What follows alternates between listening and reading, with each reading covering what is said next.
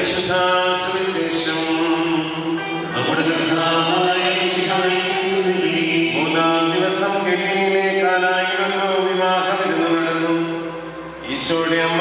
നടന്നു ഈശോയും ശിഷ്യന്മാരും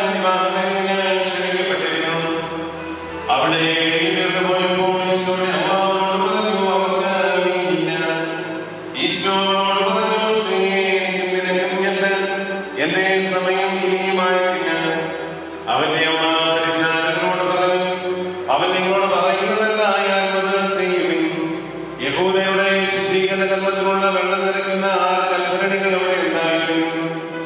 ഓരോന്നിനും രണ്ടോ മൂന്നോ മുളക് കൊള്ളുമായിരുന്നു ഭരണികളിൽ വെള്ളം നിറയ്ക്കണമെന്ന് ഈശോവരോട് കൽപ്പിച്ചു അവർ അവയിൽ നാം അപ്പോളം നിറച്ചു ഇനി പകർന്ന് കലവരക്കാരന്റെ അടുത്ത് കൊണ്ടു എന്നവൻ പറഞ്ഞു.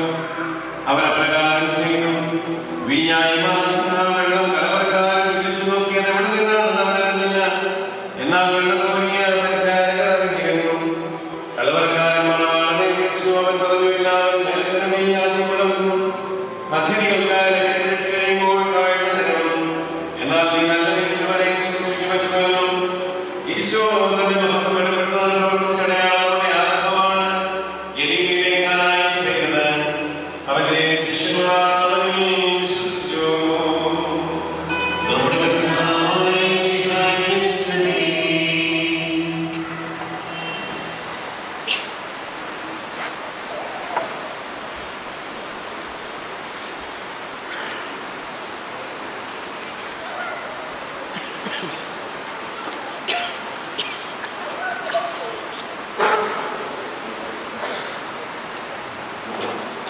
കാനായിലെ കല്യാണ വിരുന്നിൽ കവിഞ്ഞൊഴുകുന്ന കാരുണ്യം ചൊരിഞ്ഞ സ്നേഹ കർത്താവിൽ ഏറെ പ്രിയപ്പെട്ടവരെ